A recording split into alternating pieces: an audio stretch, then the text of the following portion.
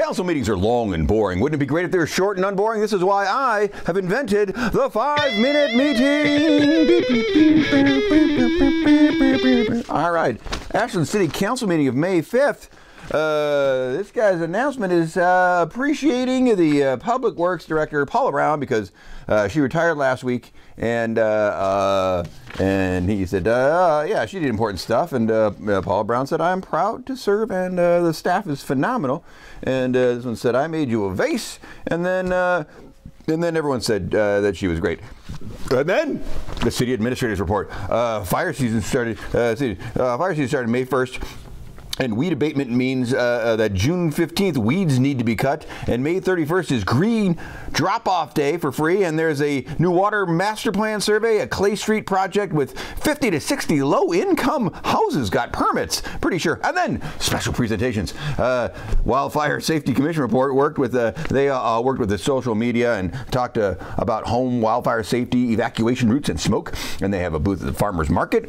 And they have formed 14 working groups and uh, they, then this guy went through all of them empty lot group and the real estate group and the landscaper group and, uh, and then i napped for a little while. And then uh, a proclamation of uh, national historic preservation month and this one said uh, may 17th to the 23rd is historic preservation week so i appreciate that and then uh, a covid emergency declaration extension so this guy goes he goes this declaration is mostly to keep ashland eligible for federal reimbursements then this guy says hey we can take some issues off the uh, uh, emergency declaration. And uh, this one says, you know, I'm kind of in favor of this uh, extending this. Uh, this process is actually going pretty well.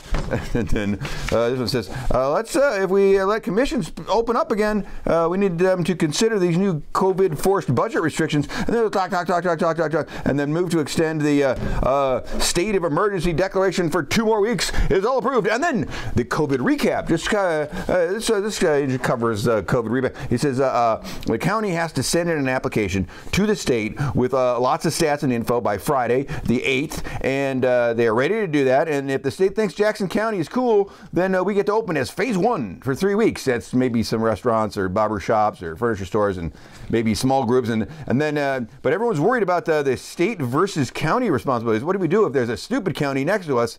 that does dumb things. And then uh, uh, this one says, uh, uh what responsibility does this, our, the city really have in this whole process? And incident commander here says, uh, uh, we just share what the state and county are telling us, and we clarify that info for local businesses. And then the homeless city, homeless services lady at the city, she says the, the city is supporting a temporary housing run by OHRA, Aura, and uh, there are 51 homeless in 45 hotel rooms.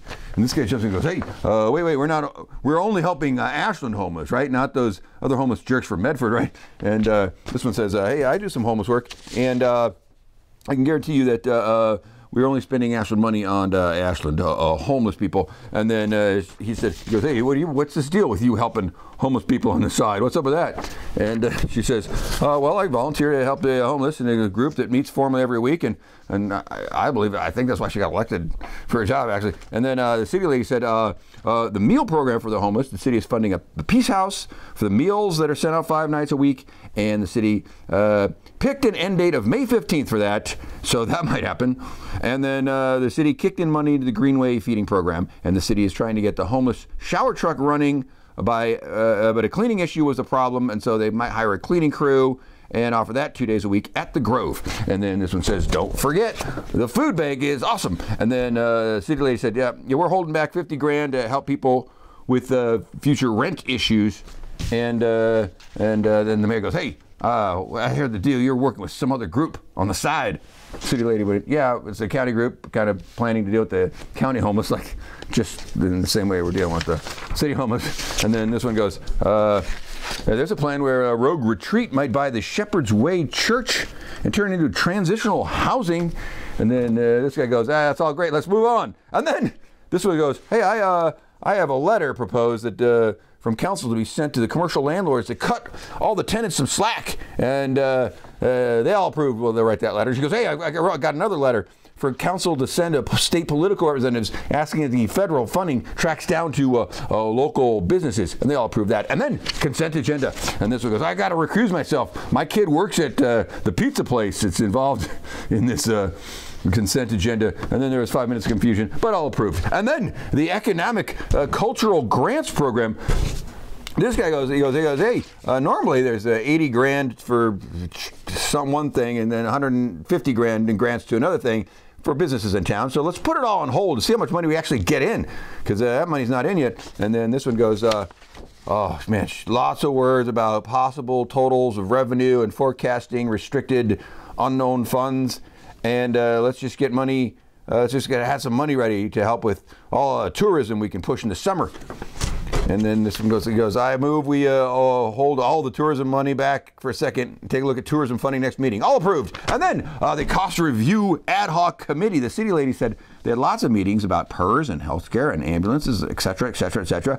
And uh, then this guy goes, he goes, oh man, this is uh, what a good committee this was. Uh, the committee looked at the things that uh, we the city thinks we should look at, and then the committee looked at it and said, I, we think the city should look at all these things. And so then uh, uh, that turned into a discussion mostly about ambulances. And uh, this guy says, I, I, we should have a study session on ambulances. And she says, I'm afraid of old people dying because of uh, the new, uh, new ambulance service would be slower. And then this one goes, hey, let's wrap this thing up. And then uh, this one says, hey, I, I moved to finish this next meeting, all approved. And then uh, this one says uh, she's got her uh, how to help the downtown businesses. Are there uh, city funds to give to businesses? You know, hanging around the, and the city administrator. He says he goes, I, I, I, I got nothing, and she goes, he goes, really? And he goes, uh, maybe maybe interfund loans. I mean, we could do that. And this guy goes, hey. Uh, I uh, get your idea about getting some funds, but I don't think loans to businesses is a good idea. And this guy goes, he goes, hey, he goes, what's up with the future parking money fund? That's something. And this guy goes, huh, maybe. I mean, it is four hundred and then uh, this guy goes, this guy goes, uh, small businesses don't deserve special money uh, aside from other people in town. And then this one goes, uh, let's unrestrict that on uh, the future parking money fund at the next meeting. And they all blabbered and went, approved. That's it. End of meeting. You're welcome.